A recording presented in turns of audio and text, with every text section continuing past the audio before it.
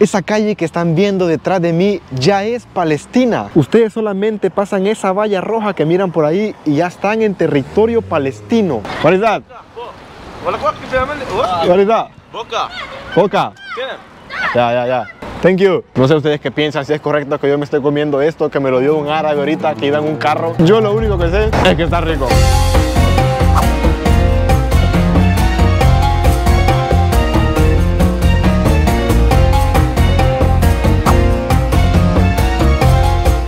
Vengo saliendo ahorita aquí de una mezquita. Hay que quitarse los zapatos para entrar. Creo que es para no ensuciar la alfombra porque tienen una alfombra muy bonita. Que por cierto la alfombra es muy suave. Y como vieron en el título de este video, estoy en una ciudad autónoma dentro de Israel que pertenece y que es liderada por los árabes palestinos que viven aquí. Y justo ahorita que venía saliendo de la mezquita, se me acercó una persona para preguntarme que de dónde era. Eso puede ser por varias razones que me haya preguntado. Y una de esas razones posiblemente es porque como cierto temor a que judíos o israelíes vengan a querer espiarlos. Ya que aunque sea una ciudad autónoma, liderada completamente por árabes, no hay que perder de vista que está dentro del territorio israelí. Y así es amigos, en este video les voy a mostrar cómo es una ciudad autónoma dentro del territorio israelí. Me encuentro aquí en la ciudad de Kafir Y vengo saliendo justo ahorita de una mezquita, que para el que no sepa, una mezquita es donde los musulmanes van a orar a Alá cinco veces al día en dirección a la Meca. Me acabo de dar cuenta en esta ocasión que la Meca está en aquella dirección porque en esa dirección es que oran. Y pues generalmente la mayoría de árabes son musulmanes, pertenecen a la religión del Islam. Y debo de reconocer que esa mezquita está increíble. Aquí todo está en árabe. Es raro ver el hebreo, aunque estamos algo cerca de Tel Aviv, como a unos 20 minutos, ya todo está en árabe. Ayo, Master. Amigos, ¿escuchan eso, canto? Están llamando ahorita para ir a rezar a la mezquita. Faltan 10 minutos para las 8 de la noche y pues es momento para ir a rezar a la mezquita. Acá hay otra mezquita cerca donde andamos ahorita y estoy buscando dónde están los parlantes porque yo sigo escuchando la voz desde hace como 4 cuadras. Vean, encontramos aquí dónde está la otra mezquita y ya dejaron de hacer el llamado. El canto que estábamos escuchando ya no lo están haciendo, pero sí vimos que varias personas, en su mayoría hombres, estaban llegando hace un momento. Vean, ahí van entrando los señores, justo en la mezquita. Allá al fondo se pueden ver varios que están rezando. Y a diferencia de otras religiones, lo que tiene la religión del Islam es que dentro de una mezquita ustedes no van a ver imágenes, no van a ver ninguna fotografía o ninguna figura de Mahoma, que es el profeta de ellos, sino que lo único que van a encontrar son como algunas caligrafías, algunos escritos en árabe, además de ser adorno, también son textos o versículos del Corán. Esa es la mezquita y ya empezaron a hacer el rezo. Y justo al par de la mezquita hay una barbería. Y pues últimamente como que no me siento muy cómodo con este bigote que ando. Quiero como arreglármelo también la barba. Entonces me dicen que la barbería es de un jordano, vino de Jordania, vive aquí. Así que va a ser mi primera vez que un jordano me arregle el bigote y la barba. El pelo pues lo ando bien, solo me falta un poco de crema. Hamdan Barber Shop, así es el nombre de la barbería. Pues el barbero estaba ocupado ahí con un cliente, pero dijo que, que me atendiera a mí primero. O sea, YouTube. De viaje con Sebane. Bueno, él dijo que me tendrían a mí primero porque yo solamente quiero el bigote y él como que se va a hacer todo completo. Me están preguntando que cómo se llama el canal ahí. O sea, estamos aquí todos a señas porque no entiendo ni hebreo ni árabe. Y aquí obviamente hablan árabe.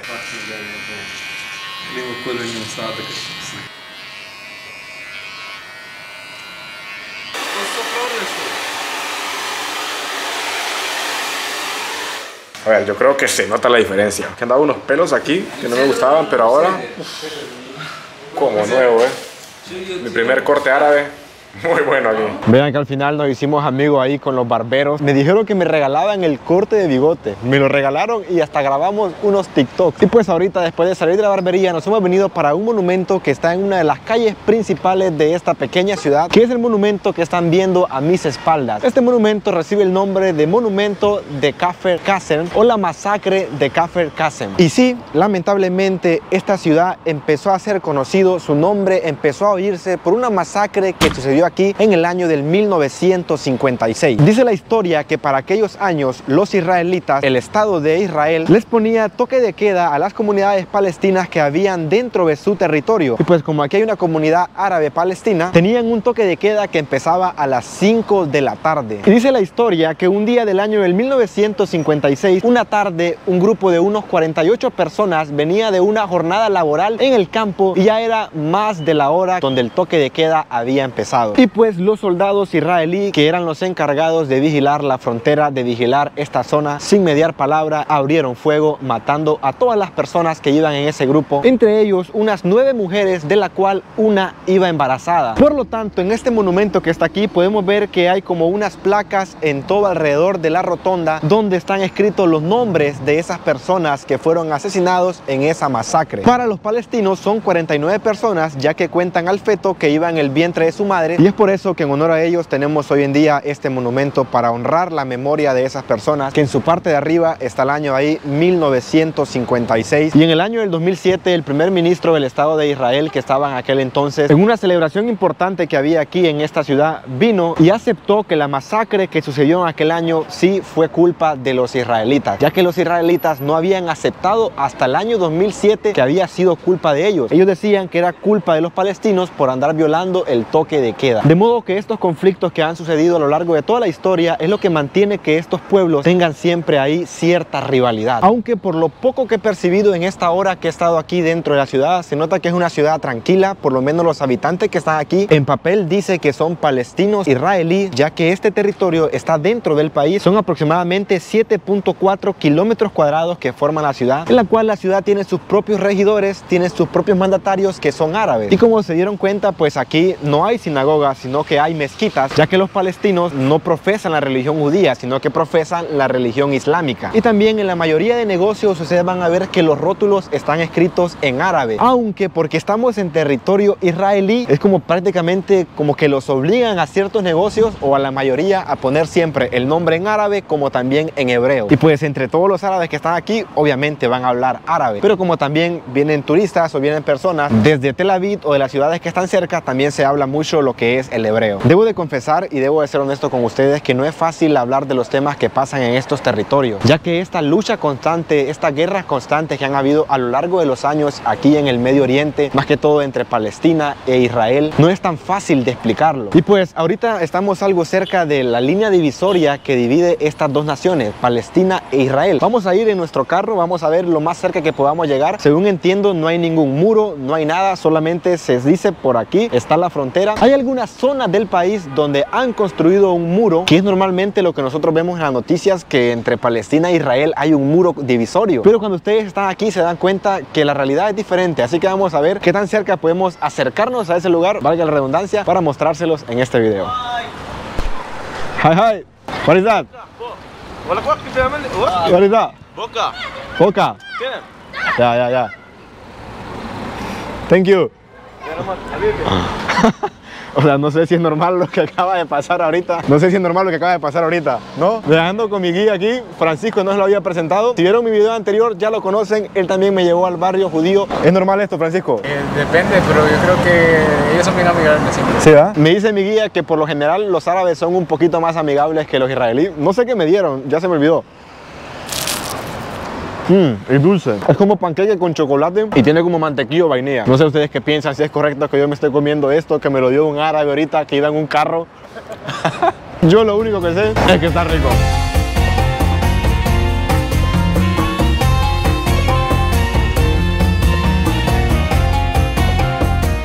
Wow amigos, acabamos de llegar ahorita a la frontera entre Israel y Palestina. Esa calle que están viendo detrás de mí ya es Palestina. Ustedes solamente pasan esa valla roja que miran por ahí y ya están en territorio palestino. Y pues por aquí pasa una línea imaginaria, o sea, no hay nada de marcado, no hay absolutamente nada, pero por ahí va una línea que se llama la línea verde. Y en el mapa ustedes pueden ver ahí la línea, es como una línea puntiaguda donde se mira que ustedes al cruzar ya están en otro territorio. O sea, ustedes pueden entrar libremente, no ocupan ni pasaporte ni nada. Vean ahí, la calle está abierta para todo el mundo. Hay muchas personas que vienen hasta esta rotonda, porque es una rotonda donde estoy parado ahorita, donde solamente vienen a dar vuelta y se regresan para Israel. Pero también hay otras que he visto que siguen derecho, que van para Palestina. E inclusive también he visto carros que vienen de allá. Muchos carros vienen de Palestina hacia Israel. Y fíjense, todo alrededor aquí de esta rotonda lo que hay son negocios. Negocios obviamente de árabes, pero que están en territorio israelí. Y pues aquí están los últimos negocios. Ahí hay como un negocio como de de madera, por lo que veo. Aquí hay algo relacionado con el hierro. Por ahí hay unos hoteles. Y a este otro lado no hay absolutamente nada. Es un poco como desértico. Allá al fondo sí se ven unas luces. Y como los palestinos no pueden izar la bandera de Palestina en territorio israelí, pues, ¿qué creen? Aquí en esta rotonda está izada la bandera de Arabia Saudita. Imagino yo que tienen como cierto apego a Arabia Saudita, ya que Mahoma, que es el profeta del Islam, era de Arabia Saudita, de la Meca. Entonces la bandera que están viendo ahí delante de ustedes es la bandera de Arabia Saudita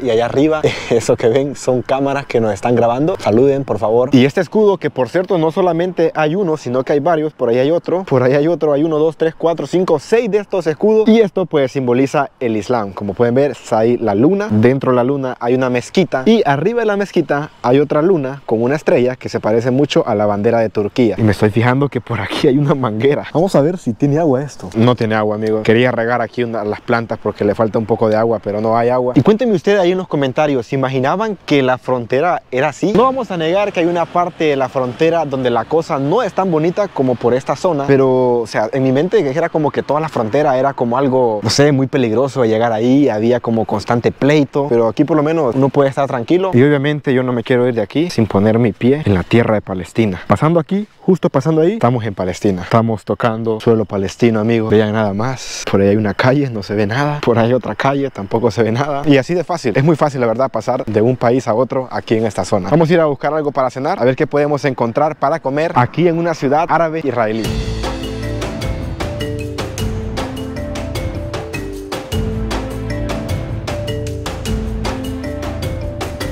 Y antes de irnos amigos, como les dije, vamos a probar un poco la gastronomía que podemos encontrar aquí en esta ciudad árabe. Hemos venido aquí a un lugar que muchos de ustedes me recomendaron más que todo por Instagram, que se llama Shawarma. Ahí en el nombre que están viendo, créanme que ahí dice Shawarma, aunque esté en hebreo y en árabe, créanme que eso es lo que dice, o sea, no está en español ni en inglés. Y básicamente es un platillo típico que nació con el Imperio Otomano, cuando el Imperio Otomano o los turcos tomaron estas tierras en aquel tiempo. Desde ese tiempo viene el shawarma, es como una tortilla de harina, le ponen le ponen muchos vegetales. Es como cuando ustedes van a un Subway, pero en vez de pan es una tortilla de harina. Me he pedido uno, ya lo llevo aquí, así que ahorita lo vamos a probar. Y bueno amigos, como pueden ver, ya estoy aquí en el lugar donde me estoy esperando. Han pasado como unas dos horas tal vez desde el último clip que vieron. Son más de las 12 de la noche aquí en este lugar ahorita. Y pues el chaguarma, como les dije, lo pedí para llevar. Tengo aquí el chaguarma delante de mí. Esto mide más de una cuarta aproximadamente. Uy, se está rompiendo. Son como unas 10 o 12 pulgadas. Te dan estos pequeñas panitas, estos tuppers para que puedas traer cosas de lo que hay ahí. Antes de probar por primera vez el shawarma, quiero decir dos cosas más que no logré mencionar en el barrio. Una de esas cosas es respecto a las casas. Desde que ustedes entran al barrio se dan cuenta que están en un barrio que no es israelí. Las casas todas tienen el mismo color como un color blanco hueso, ya que la piedra con la que las hacen es la misma piedra y todas las casas son casas muy buenas, de 2, 3, 4 pisos. Y eso es porque normalmente en una familia árabe toda la familia vive junta, entonces ahí viven los hijos, cuando se casan los hijos se quedan ahí y van ampliando la casa un poco más. Y lo otro que les quiero mencionar es respecto a las mujeres. Generalmente las mujeres ahí donde estábamos se cubren la cabeza. Usan algo que se conoce como hijab. Es diferente de la burka porque la burka prácticamente te cubre todo el cuerpo. En cambio la hijab solamente te cubre el cabello y te deja la cara libre. Y pues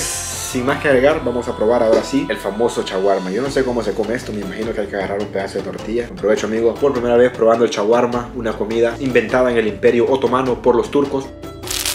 Debo decir que está bueno. No tiene como tanto sabor así como lo esperaba, como una comida con mucho sabor. Y hay algo que yo le puse que se llama hummus, que es como un puré pero de garbanzos. Entonces eso no tiene sabor. Y la carne que en esta ocasión le puse es carne de cordero. Mmm, esto sí tiene más sabor. Se sienten mucho las especias. Ahora sí, creo que el sabor está en la carne. Y bueno amigos, sin nada más que agregar, yo me despido de ustedes desde aquí, desde mi habitación con este shawarma en la mesa que no creo que me lo termine porque es enorme y ya son casi la una en la mañana. Recuerden que si este video les gustó pueden regalarme un buen like. Si aún no se han pueden suscribirse que es absolutamente gratis y de esta manera no se van a perder ninguno de los próximos videos que aún faltan desde aquí del hermosísimo país de Israel. Nos vemos hasta la próxima. Chao.